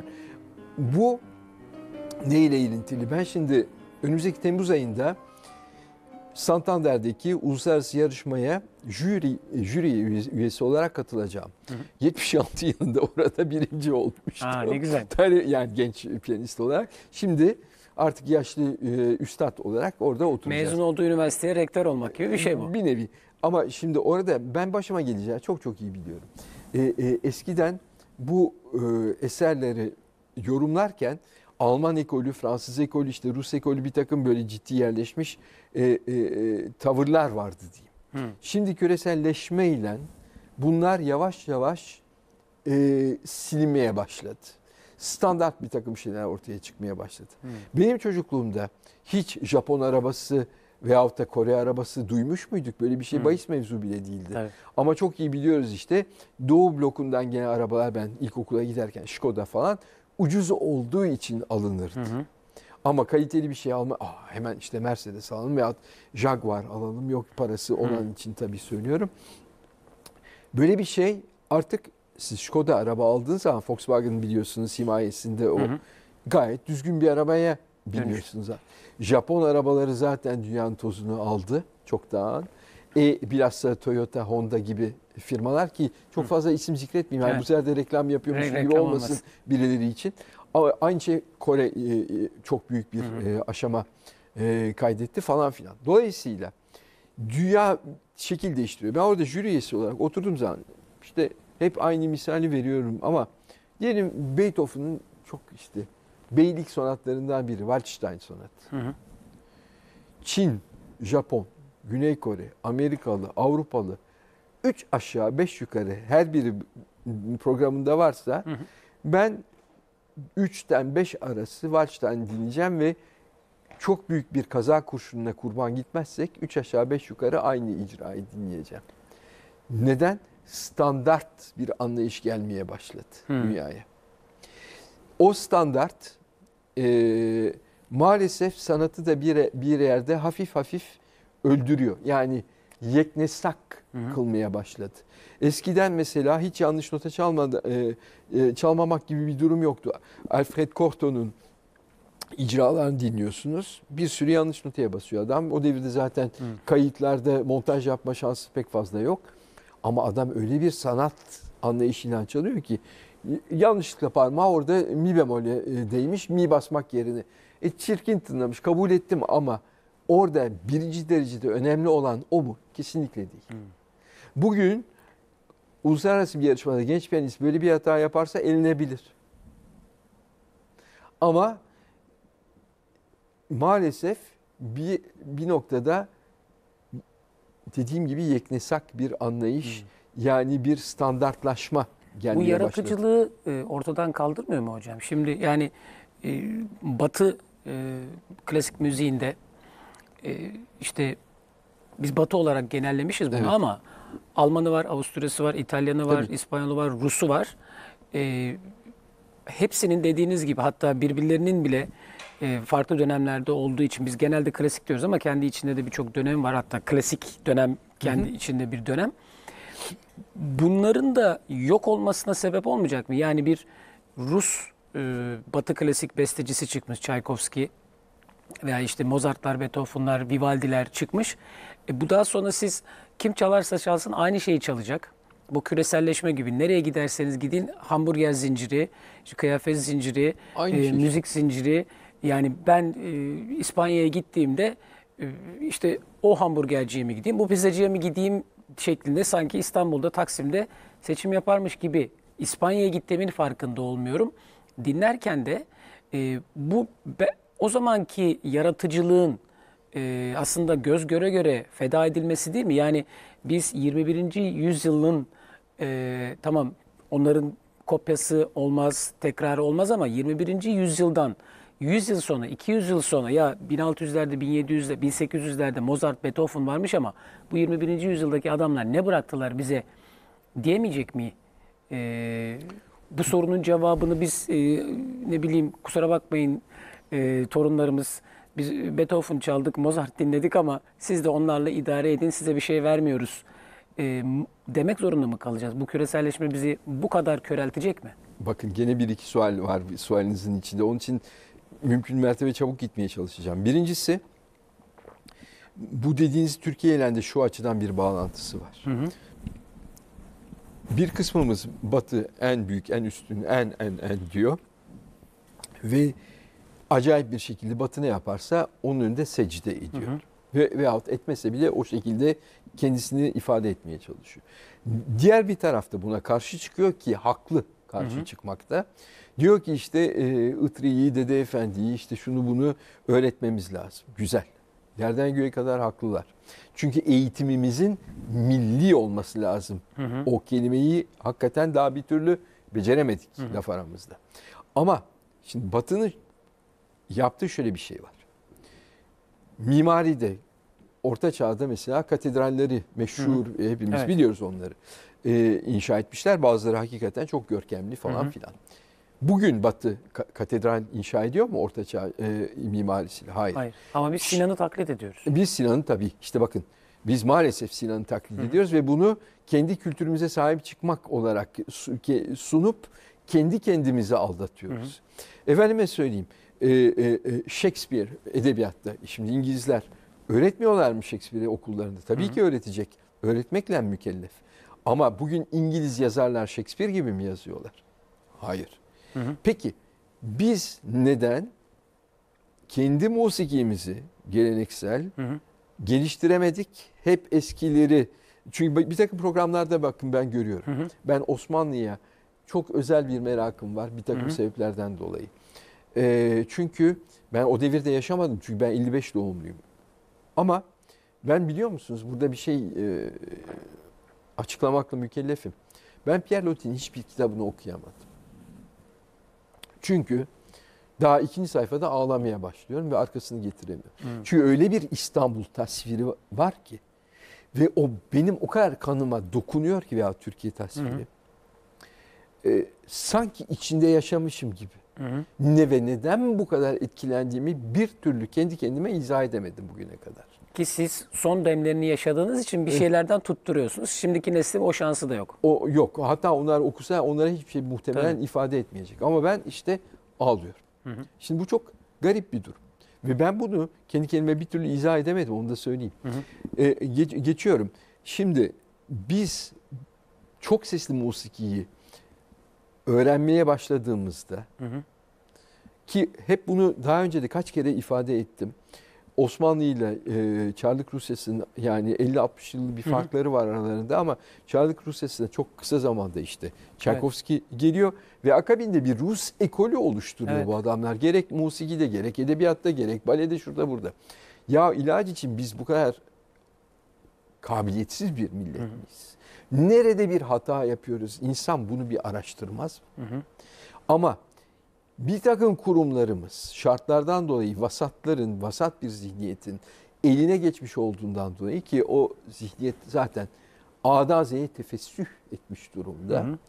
Biz E, Yani ben son nefesimi verirken siz diyorsunuz ki şurada bana bir el ver de 40 kiloluk ağır bir şey var bunu beraber kaldıralım. Adam ölüyor orada yani. Evet. Ya, e, şimdi e, durum ha- ha- hakikaten içler acısı. Türkiye'de bu açmazı, şizofreniyi işte Hı hı. tedavi edemediğimiz sürece Hı hı. bir doğru teşhisten yola çıkmamız lazım. Biz maf mahvolmuş durumdayız. Zaten bakın Hı hı. e, ben ne zaman külliyede kültür sanat ödülleri törenine da, e, gitsem Sayın Cumhurbaşkanımız ki A'dan Z'ye haklı yerden göğe kadar haklı şikayette bulunuyor. Diyor ki işte şurada burada bu kadar ilerledik şunu yaptık Evet. bunu yaptık bilmem ne. Sanatta e, şu, e, diyor bir türlü gereken aşamayı gösteremiyoruz diyor. Şimdi doğru söze ne denir? Mesela son yapılan AKM herhalde dünya standartlarında bir konser salonu ve Ya, opera gerek salonu. Ankara'da gerek burada. Hı hı. Bakın dünyanın en iyi konser salonlarını gelin verin. Hangi zihniyetle kim dolduruyor içini? Şimdi buna cevap veremediğiniz sürece Hı hı. bu neye benziyor? Bana dünyanın en muhteşem antrenman e, o, yani antrenörlerini getirin. Hı hı. En muhteşem şartları sağlayın. Sen boks yapacaksın. Allah Allah. E, e, bu yaştan sonra e, karşıma kim çıkacak? Mike Tyson çıkacak. Ha, tabii. Evet. Tabii. Mem- Memnuniyetle. Değişik Ya- bir intihar yöntemi.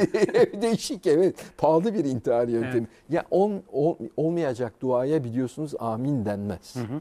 İş ehline verilmekle mükelleftir. Hı hı. Ve Türkiye'de bir takım kurumların zaten yazılı olan yönetmelikleri ve kanunlar değişmediği sürece de sittin sene bu böyle gidecek. Ben onu da burada bakın yazıyorum. Hı hı. Hiçbir zaman değişmeyecek. Sadece ne? Bir takım işte kabiliyetli insanlar arada çıkacaklar. Onlar kendi kafalarına göre bir şeyler yapıp yol almaya çalışacaklar. Ama kurumsal olarak programın ilk yarısında söylediğimiz bir takım şeyler hani niye biz eğitimi buraya e, şey demiyoruz? Hiçbir zaman olmayacak. Çünkü onun önündeki en büyük engel zihinsel eksiklikler ve vasatlık. Hı hı. Cumhurbaşkanımız da maalesef şikayet etmeye devam edecek. Evet. Peki şu da var hocam. Şimdi biz e, sanatta, mimaride, askeriyede, müzikte, edebiyatta zirveyi görmüşüz. İşte Avrupalılar bizim gibi olmak için Allaturka, Türk gibi, Türk usulü gibi bir tabir kullanmışlar. Onlar bizi iltifat için kullanmışlar. Biz kendi kendimize hakaret için kullanıyoruz. Alaturka tufalet diyoruz, Alaturka kafalı diyoruz. Peki biz bu geçişte yani bir ıtri Avrupa'daki meslektaşlarıyla mektuplaşırken, onlara notalarını, bestelerini alıp gönderirken, Avrupa'dan gelen müzisyenler burada Donizetti Paşa olacak kadar kendimizi onu onu benimsemişken, işte Kantemiroğulları varken, biz o kırılmayı değil de yani kırılma yaşamak yerine Osmanlı sanki o yumuşak geçişi e, iyi başlatmış. Hatta işte Sinan'ı taklit etmemiş Dolmabahçe e, Camii'ni yaparken, Ortaköy Camii'ni yaparken barok mimarisini kendi İslami e, Üslupla üslupla, diyelim. yorumlamış. Evet. Peki biz nerede bir e, şey yaşadık, şerit değiştirdik, karşı tarafa geçtik ya da e, hani ne oldu da biz bu kadar zirveyi e, görmüş bir medeniyet olarak tamam ekonomik olarak güçsüz olabiliriz. Çarlık Rusyası da çok büyük ekonomik sıkıntılar yaşadı. Sovyetler ve komünist e, rejim gibi bir baskıcı rejimden de geçti ama Çaykovski yine e, şeyde çalıyordu. E, Sovyetler zamanında biliyorsunuz Schnittke, Shostakovich gibi de muhteşem ötesi besteciler vardı. Bunlar yani e, Ruslar kendilerini kabul ettirmişken işte Kuğu Gölü baleleri, işte Fındık Kıran baleleri, şunlar bunlar varken İtalyanlarla, Almanlarla, e, Fransızlarla birlikte varken biz de Viyana'ya kadar girmiş hatta onlara Türk Marşı besteletmiş bir altyapı sahipken biz nelerden vazgeçtik ki? E, şu anda dediğiniz gibi o şizofreniyi yaşıyoruz ve e, bizim klasik korolarımız, klasik e, senfoni orkestralarımız e, halen Vasat. dünyada söz sahibi değil. E, işte e, Burada memur kafası mı var? e, memur kafasının ötesinde e, ki memur kafası tabii çok kısa e, yoldan bir tarif ama bü- ciddi bir vasatlık e, söz konusu ama e, şimdi bakın e, bu aslında çok üzücü bir konu. E, bağımsız bir yapı kurulmadığı sürece ve o bağımsız yapıyı sanat konusunda Hı hı. kurumsallaştıramadığımız, kurumsallaştırmadığımız sürece ben ölene kadar e, siz beni e, veyahut çeşitli yerlerde e, 20 sene sonra falan hala hayattaysam davet edersiniz. Ben hı.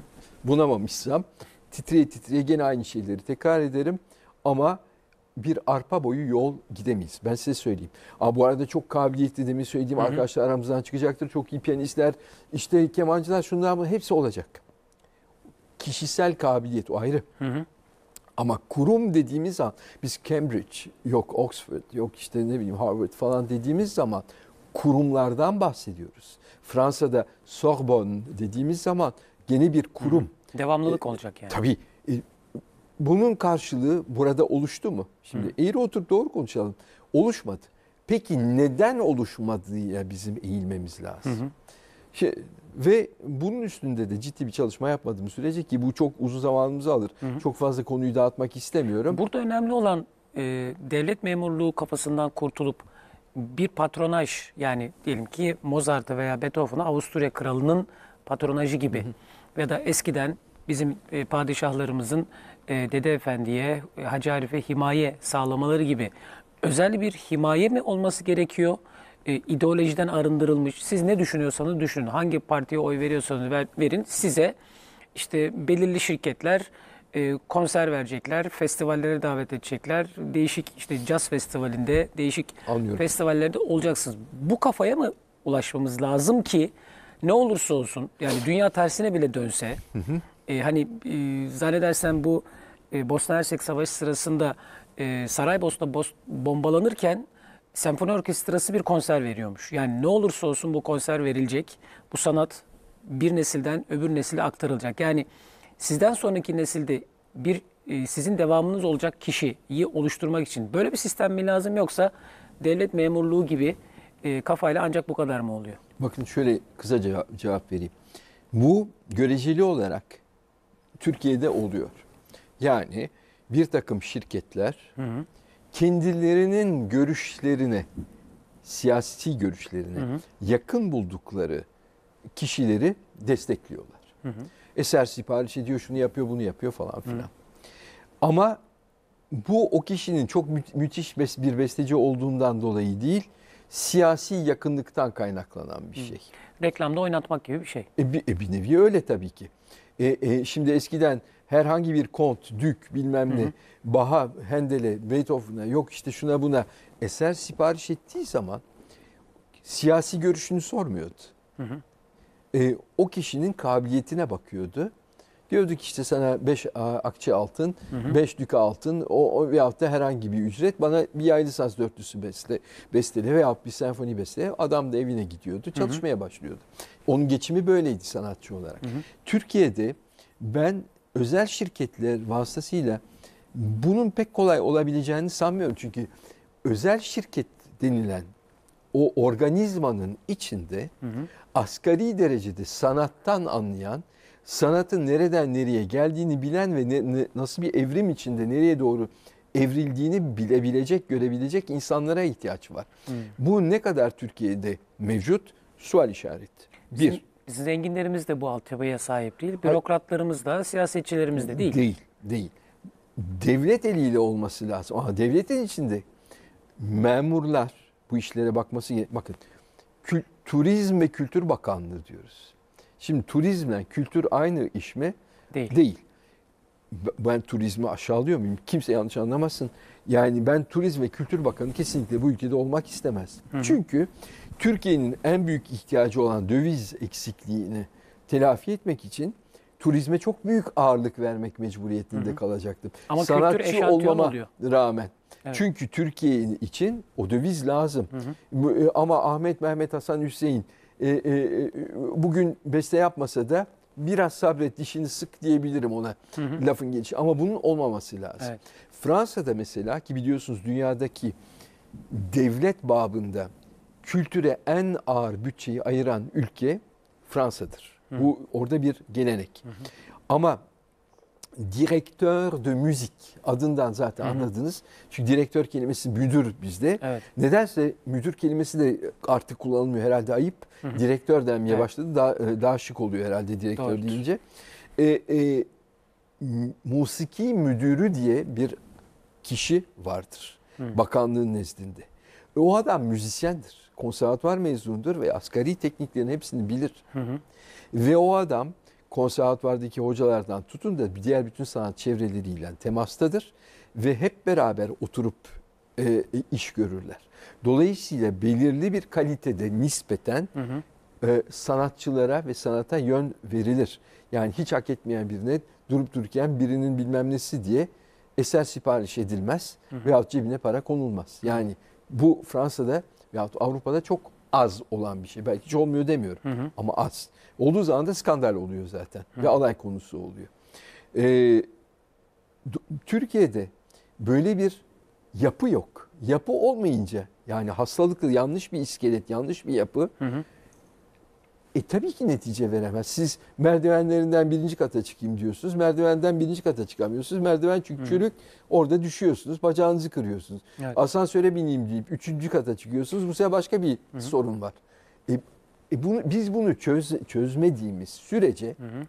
oturup habire sabahtan akşama kadar tartışmaya devam edeceğiz ve üzüleceğiz. Belki şunu dediğim, ben de bunu yazılarımda da e, çok söylüyorum. Yani kültür e, turizmin eşantiyonu mu diye. Mesela biz son iki senede dünyada yaşadığımız küresel salgını Türkiye'de e, Sağlık Bakanımız Fahrettin Koca bir doktor olarak ve bir idareci olarak belki Türkiye'deki en zor Sağlık Bakanlığı dönemini yaptı ve bunda çok başarılı oldu. Fakat Kesinlikle. Turizm Bakanımız da bir turizmci, profesyonel olarak Tabii. ama kültür adamı değil. Dediğiniz gibi ondan o, o beklenmez. Yani Evet.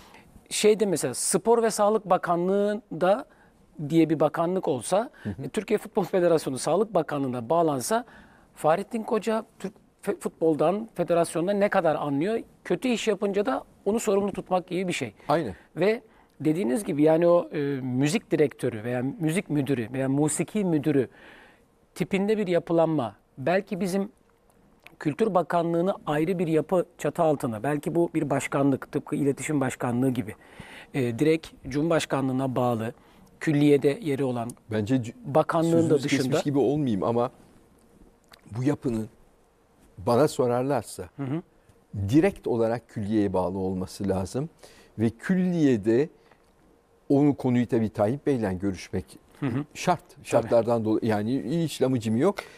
Oraya gelecek olan kişi her kim olursa olsun hakikaten liyakat e, ve o kişinin sorumlu olması lazım. Aksi takdirde Türkiye'de benim dikkatimi çeken bir şey var. Çok özür diliyorum, Tabii, diliyorum sözünüzü kesiyorum. Herkes çok iyi niyetli tartışıyor konuları. Sabahtan akşama kadar tartışıyoruz. Ama hiçbir karar alınmıyor neticede. Ve hakikaten demin de söylemiştim arpa boyu kadar mesafe kat edemiyoruz biz. Ve yani 10 senede yapacağımız 100 senede ancak belki yarısını e, yapabiliyoruz. Çok ağır gidiyoruz. Halbuki çok daha süratli hareket edebiliriz. Mesela 21. asırdayız artık. Yani Evet. özür diliyorum.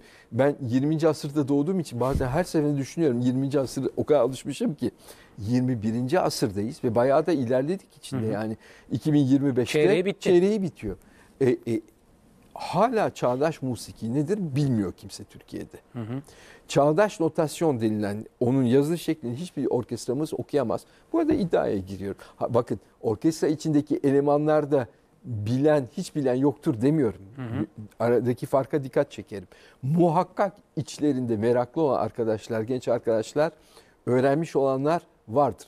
Ama iki elin parmağı kadardır bütün orkestraların e, içinde. Ve onlara siz çağdaş bir eser getirdiğiniz zaman sizi bir kaşık suda ve çay kaşığı suda boğmak istiyorlar. Ben bunu çok iyi biliyorum çünkü yaşadım. Bütün ülkelerin kendi bestecilerine eser sipariş etme siyaseti güderler. Hı hı. Ama Türkiye'de bu da kim karar veriyorsa kime, hangi sahiplerle hangi eseri sipariş edecek e biraz evlere şenlik bir durumda laf aramızda. Ha arada bir, bakın arada bir yani 40 yılda bir bir taş atıyorsunuz isabet ediyor Hı. ama yüzde sekseni vahim durumlar. Mesela- Ve bunlar e, bunları sipariş ediyorlar. Külliyede falan arada bir Hı hı. icra ediliyor Hı hı. ve Türkiye'yi rezil rüsva ediyorlar. Farkın, farkında bile değiller. Hmm. Bir de, mesela 100. yıl geliyor. 2023 Türkiye Evet. Cumhuriyeti'nin 100. yıl dönümü için bir 100. yıl e, konçertosu, senfonisi ya da ne bileyim marşı gibi bir e, şey sizin kulağınıza geldi mi böyle Kültür Bakanlığı'ndan ya da Varsa bilmiyorum. ilgili kurumdan? Çünkü Kültür ve Sanat Politikaları e, komisyonu var. Direkt külliyeye bağlı ve e, Cumhurbaşkanımızın da başkanlık yaptığı komisyonlardan biri. E, yani bu tip şeyler şimdi zaten yani 2023 e, ne kaldı ki şurada? Yani 2022 işte bir, bir buçuk sene falan var. Yani 100. yılını tamamlayacak. Ki belki bir beste içinde yeterli zamanda olmayabilir. Yani, bir Yani buçuk, besin büyüklüğüne bakar o. bir Yani buçuk yıl Wagner içinde- operası gibi bir şey beslenmeniz isteniyorsa Evet. imkanı ihtimali yok. Bir buçuk sene yetmez. Yani burada mesela benim aklıma hep şu gelirdi. Bir ufak tefek işte az buçuk müziğin içinde bulunmuş bir insan olarak da söylüyorum. Hep denirdi ki işte Türk e, müziği e, 1976'ya kadar okulsuz kaldı. Konservatuvar 1976'da kuruldu. O da zaten yarı batı, yarı Türk müziği oldu. Ama şunu görüyoruz.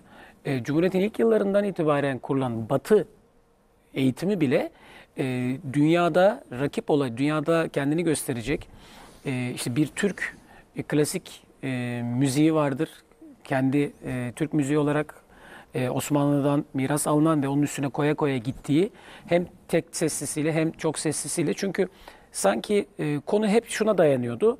İşte çok sesli, tek sesli, işte tampere sistem, işte koma. komalı sistem, Sanki evet, evet. bu çözülürse yani piyanoyla e, hüzzam çalınınca sanki bütün e, sıkıntılar şey yapılacak ve biz e, Metropolitan Konser Salonu'nda Ah, yarabbim, e, evet.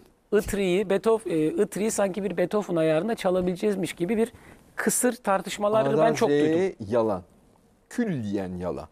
Birincisi piyano gibi bir sazla hiçbir zaman komalı bir musikiyi çalamazsın. Evet. Zaten Türk musikisi piyanoda birileri tıngırdatmaya çalıştığı zaman çok kulak tırmalayıcı bir şey çıkıyor ortaya. Yani benim profesyonel olarak hiç tahammülüm yok. Oralara Onu az söyleyeyim. basıyoruz diyorlar. E, e, işte, evet işte ne, geçelim. Hiç, yani ben e, e, konuşmayayım. Evet. E, daha doğru olur. Ama burada bakın Türk musikisi geleneksel komalı e, yeni keşfettik. Yani meleklerin cinsiyetinden bahsetmek gibi bir şey. Hmm. Vallahi hiç ben haberim yoktu komalı olduğunu. Ancak Türkiye 50 yıl sonra döndüm bir baktım ki Koma var. komalıymış bizimki. Allah Allah. Yani kimse benim aklımla alay etmemeli. E, tabii ki Türk musikisi komalıdır ve komalı olarak kalmaya devam edecektir. Çünkü öyle kalmakla mükelleftir. Bu bir. Batı musikisi çok sesli armonik yapısından dolayı tampere sistem dediğiniz gibi komasız olacaktır. O da o şekilde kalmakla mükelleftir. Bizim görevimiz bunların hülasasını nasıl çıkarabiliriz, nasıl harmanlayabiliriz? Yani inanılmaz bir kültürel zenginliğin üstünde yüzüp onu bir türlü kullanmayı becerememek Hazine gibi bir şey. sandığının üstüne oturup dilencilik yapıyoruz. Resmen.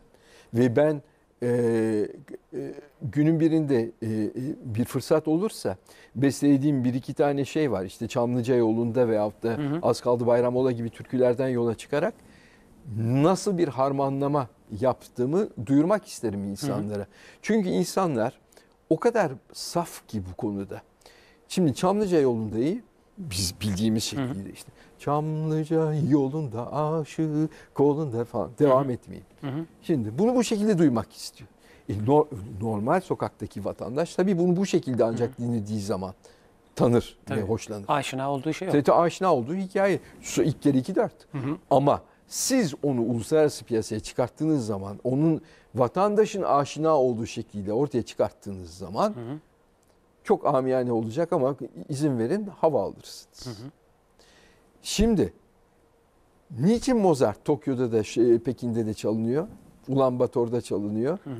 Ve niçin onların kendi kültürlerinden kaynaklanan Çin'in, Japonya'nın, Kore'nin şunun bunun musikiyle çünkü onların da kendilerine has bir kü- kültürleri tabii ki var. Evet. Çalınmıyor. Şimdi bakın bunun üstünde de oturup tartışmamız lazım. Mesela Endonezya denilen ülkenin büsbütün başka bir sisteme dayalı çok sesli musikisi var. Şimdi ve bunun farkına da 20. asrın başındaki Paris'teki o meşhur e, uluslararası evrensel ekspozisyon meşhur bir hikayesi, fuar diyelim. Orada Fransız besteciler şunlar bunlar dinliyorlar Endonezya şeyinde ve şapkaları uçuyor tabiri caizse ve bir, bir şekillerde kendi kendileri onu harmanlayıp ifade etmeye çalışıyorlar. Şimdi bizim bu kadar zengin bir kültür hazinemiz varken musiki alanından sadece bahsediyorum. Diğer konulara bile bile hiç Tabii. girmiyorum. Biz bunu hala kullanmayı doğru dürüst becerememişsek o zaman eksiklik başkasında aranmamalı. Bizim kendi içimizde. Bizim kafa ve zihniyet yapımızdan kaynaklanıyor. Tembelliğimizden, bilgisizliğimizden, cehaletimizden kaynaklanıyor. Gayet açık ve seçik burada ifade ediyorum. Kimse de kusuruma bakmasın. Mesela e, Ferit Anlar'ın bir e, kanun konçertosu vardır. Evet. E, hep şunu deniyor yani yapabiliyorsanız kendiniz e, yapın. Sizi siz de aynı zamanda bir bestecisiniz. Hatta bestecilik tarafınız daha baskın oluyor. Yurt dışında e, kendi bestelerinizi çaldığınızda aldığınız tepkiyle klasik eserleri çaldığınızda aldığınız tepki arasında nasıl bir fark var? Bakın şöyle söyleyeyim. Profesyonel olanlar ve musikiyi iyi bilenler, tekniğini de çok iyi bilenlerden şimdiye kadar bunu benim söylemem biraz abes, hakikaten ayıp hatta. Ama çok çok iyi tepkiler aldım. Ama benim elbette ki ifade ediş tarzım e, asgari deyimiyle modern. Yani siz oturup onu dinlediği zaman aşina değilseniz ki Türkiye'de zaten aşina olmanızın imkanı ihtimali yok. Çünkü orkestralarımızın, konservatuvarlarımızın eksikliklerinden, cehaletlerinden kaynaklanan nedenler yüzünden zaten gençler, mezun olan gençler bir haberler bilmiyorlar. E şimdi şimdi profesyonel tırnak içindeki musiki şinas arkadaşlarımızın bilmediği şeyi çalamayacağına göre halk nasıl haberdar olacak? Olamayacak. Dolayısıyla siz onu güm diye çaldığınız zaman herkes şöyle bir irkilebilir. Çünkü kimse alışık değil. Ama bunların yavaş yavaş öğretilmesi lazım. Ve insanların buna da alışması lazım. Öbür türlü biz dünyada sanat açısından son derece kopuk yaşıyoruz. Ve tamamen çıkmaz sokakta bir türlü zaten çıkmaz sokak olduğu için hiçbir yere çıkamayacak bir şekilde kendi aramızda debeleniyoruz. Cama vuran sinek gibi. Ta- Aynen. Aynen. Çünkü efendim Batı musikisi mi çok sesli? Yok Komalı Türk musikisi mi? Ama bizde Dede Efendi vardı. Çok iyi besteciydi. E o kesin doğru. Tartışmasız doğru. A- ama biz niçin yoktu? Ondan sonra piyanoda yapıp işte ona az basıyorum deyip de e, yok ben bu kadar ucuz şeyin içinde kelimeyi dikkatli seçtim. Yok ve olmayacağım da. Kimse kusuruma bakmasın. Ha bu işten para kazanan ve bu işin böyle kalması için mücadele edenler onlar o şekilde kalsınlar ve buna bu tip katkılarda bulunsunlar. Vebali boyunlarınadır. Yani şu anda yapılan işte eskiden tesis yok denirdik işte futbolumuz ilerlemiyor dendi. Şu andaki statlarımız dünya standartında. Şu anda da konser salonlarımız yani İstanbul'da açılan hemen hemen her belediyenin birkaç tane konser salonu var.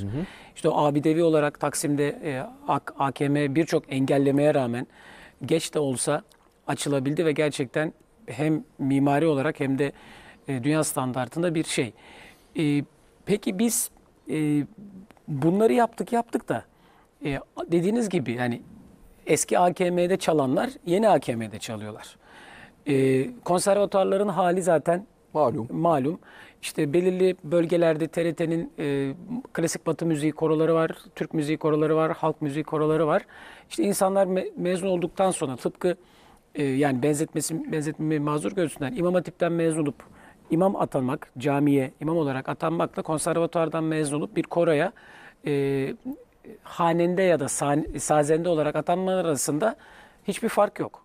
Yani sanatsal açıdan hiçbir fark görmüyoruz. İşte oraya bir e, kapağı attık deniyor. Ondan sonra artık müzik mi yapılıyor ya da e, Bundan gidiliyor. hiçbir şey yapılmıyor. Emeklilik bekleniyor. Peki bu e, Avrupa bunun önüne nasıl geçmiş? Madem bir şeyler alacağız oradan yani size 25 yaşında bir kürsü verirken Sizden ne beklediler de sizden yaratıcı olacağınızı nasıl garanti netice insansınız. Bu kürsü benim artık deyip yatabilirdiniz. O zaman beni ilk çağırır, ihtar ederlerdi. Hani sebebi ne? Ben hani evlendim, boşandım, büyük depresyona girdim, Hı. kendimi içkiye, esrara, şuna buna verdim. Alır nasihat ederlerdi. E, Yardım etmek babında ve bu aynı zamanda ilk ihtar olurdu. Hı. Ama ben Devam eder. devam etseydim o zaman affedersiniz kaba etime hiç gözüm yaşına bakmadan hani karikatürlerde Hı hı. vardır ya bir ayakkabı Evet. lekesi o şekilde güle yallah. Çünkü izin vermezler. Bakın Türkiye'de orkestraya girdikten sonra konservatuara girdikten sonra emeklilik bekleniyor. Çünkü memurluk. Her 2-3 ayda bir işte e, çift maaş geliyor, şu oluyor, bu oluyor falan filan. Şimdi Amerika'da siz bir orkestraya girin. Bir takım sebeplerden dolayı hata yapmaya başlayın. Bırakın konserde yanlış veya kötü çalmayı. Provalara 5 dakika muntazaman geç gelmeye başlayın. Hı hı. Üçüncü ihtardan sonra dışarı. Hemen bir imtihan açılır. O kovulanın yerine yeni bir tane hiç böyle şakası olmadan tayin edilir. En iyisi. Bu daima böyledir. Çünkü orada or- o oradaki o kürsü, o pozisyon, o yer gözünüzün güzelliği için verilmedi. Siz iyi yaptığınız için diğerleri arasından seçildiniz. Ama siz oraya oturduğunuz an hoca olarak, profesör olarak işte her neyse veyahut da orkestrada çalan bir müzisyen olarak o oturduğunuz iskemlenin, koltuğun hakkını vermekle mükellefsiniz. Çünkü maaş alıyorsunuz Tabii. ve iyi maaş alıyorsunuz. Ama nerede bugün? Türkiye'de bakın bu meşhur bir memurin e, kanunu vardır. Bir Hı türlü hı. kurtulamadığımız biliyorsunuz.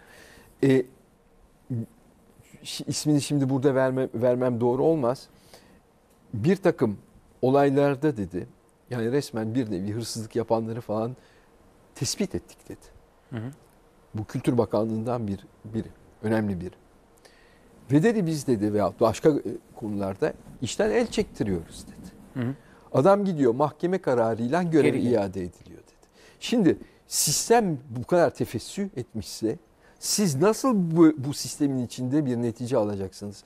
Ben bu sistemle uğraşmam. Arı kovanının içine ben elimi sokmak istemiyorum. Ben Mahkeme çünkü- kararıyla sanat yapılmaz diyorsunuz yani. ya pardon özür diliyorum. Onun için diyorum bütün bunlardan bağımsız bir yapı kurulması şarttır. Peki hocam çok teşekkür ederim. Konuşacak çok daha şey var. Bir sanatçı olarak farklı konuları da fikirlerinizi merak ediyordum ama maalesef iki saatimiz doldu. İnşallah e, en kısa sürede tekrar sizi konuk ederiz Vav TV teşekkür ederim. ekranlarında. Efendim bugün e, insana değerde dünyaca ünlü piyanist ve bestecimiz Hüseyin Sermet'i kon- konuk ettik. Önümüzdeki hafta tekrar buluşmak üzere. Hoşçakalın.